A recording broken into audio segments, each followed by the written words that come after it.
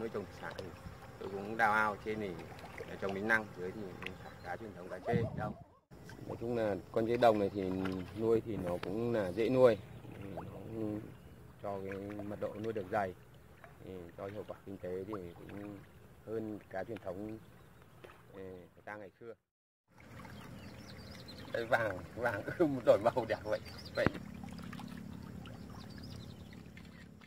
Nhưng mà không đau mấy.